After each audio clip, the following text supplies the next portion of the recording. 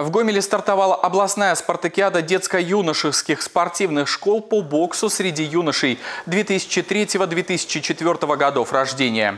Свои команды представили 12 спортивных учреждений региона. Состав участников более 80 человек. Выявлять сильнейших будут в 13 весовых категориях. Каждый из юных боксеров настроен решительно, ведь спартакиада – это своеобразный экзамен.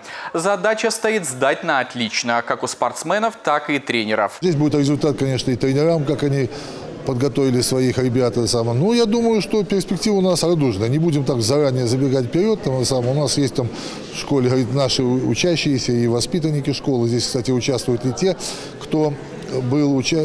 переданы воспитанники там в УОРе, они выступали за свои школы, которые передавали. Так что у нас есть тут и победители республики уже в составе команды, которых, ну, на которых надеемся. Представители судейской коллегии уверены, бои получатся не только зрелищными, но и упорными. Проходных поединков не предвидится на спартакиаде, ожидается равная борьба. Несмотря на наличие фаворитов в определенных весовых категориях. Фавориты, безусловно, есть в каждом возрасте. У нас вот э, Здесь многие ребята, которые перешли из школьников, буквально первый год боксируют по юниорам. И на спартакиаде школьников они достойно выступили, занимали первые места в республике.